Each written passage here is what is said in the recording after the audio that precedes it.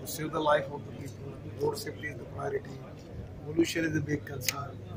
So whatever the successful practices in the world, we have to think about it and we have innovative models, innovative initiatives are very much useful for the country.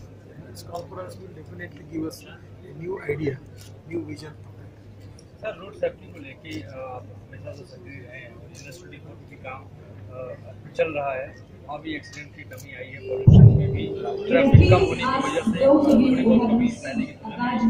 क्या कमी आई पर चार percent accident में कमी से कुछ नहीं होगा।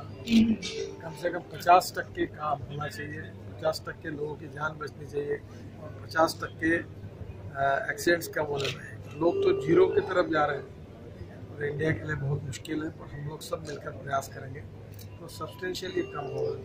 इसमें एजुकेशन की आवश्यकता है इन्फोर्समेंट की आवश्यकता है।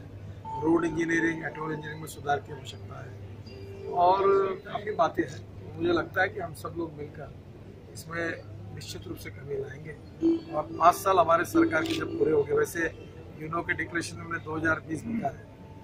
और जैसे पाँच साल कम हो गए तो उस साल में जो प्रयास हमने तीन चार साल किए हैं, उससे निश्चित रूप से पचास टक्के तक कमी आने की संभावना है। पूरी कोशिश करेंगे दो साल से।